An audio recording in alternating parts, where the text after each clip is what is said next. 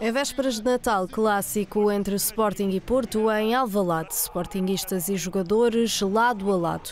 Jokeres deu o primeiro presente antecipado aos adeptos logo nos primeiros minutos de jogo.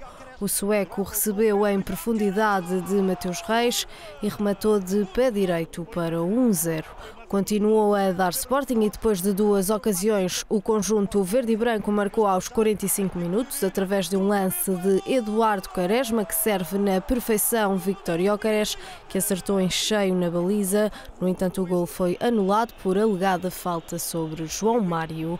A formação azul e branca ainda criou perigo no fim da primeira parte, mas uma enorme defesa de Adan negou o golo a Galeno. Na segunda parte e já com Pepe expulso por vermelho direto, o Sporting Sporting chegou ao 2-0. Jóqueres, lançado em profundidade por Catamo, deu o golo a Pedro Gonçalves. Sexto golo esta temporada, com troca de festejos entre jogadores.